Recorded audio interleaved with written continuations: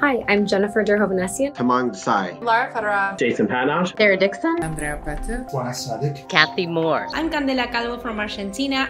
When we think about the challenges that health centers face, they are always looking for different ways to expand access to care and their services. There's not always enough of them to go around. So we're not always in every community that needs us. This was particularly important and has become more important during COVID 19. These communities may not have access to healthcare, but they also may not have access to all of the different technologies. So just kind of flippantly saying that they're able to call in or do telehealth isn't always going to be possible. The Reimagining Community Health Systems Challenge is a skills based volunteering opportunity for employees to test their skills, flexibility, and adaptability in developing a solution to a pretty significant systemic social problem. Small teams of employees from SAP, Medtronic, BD, and Celanese work together over the course of four weeks to develop recommendations to challenges posed by the Iowa Primary Care Association and the National Association for Community Health Centers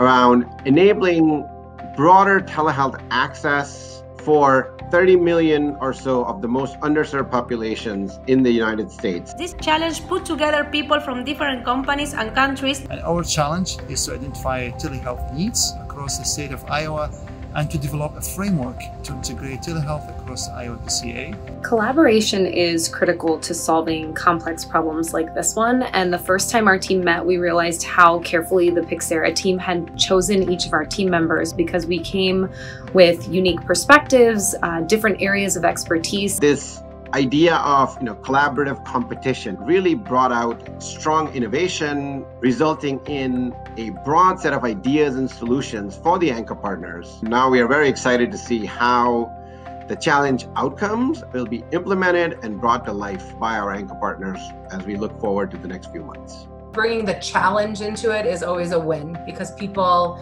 want to do good but also want to win. So it's a great combination. It was an opportunity to engage new thinking and new opportunities for partnerships in our changing healthcare system and especially with COVID today, it's an opportunity to really step back and relook at what was working, what isn't working, how do we advance. So Pyxera has found a way to get people from different groups to work together to solve problems. We share not only our skills to achieve the challenge, but also we share our cultural differences. Everybody that's on my team is very intelligent, very motivated, and we all are super busy people, but those tend to be the kind of people that get things done. The people on the teams were just incredible individuals. They had come from different backgrounds, had come from different companies, and were working together on our behalf to give us the proposals. All four teams presented robust presentations. They really heard the challenges that we had.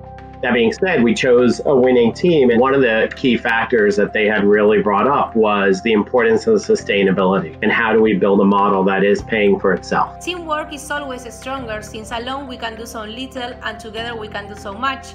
And today, with the pandemic, we have seen that there is no obstacles when it comes to distance. Be the change that you want to see in the world and this project is really allowing me to help do that. I'm excited to be part of this journey.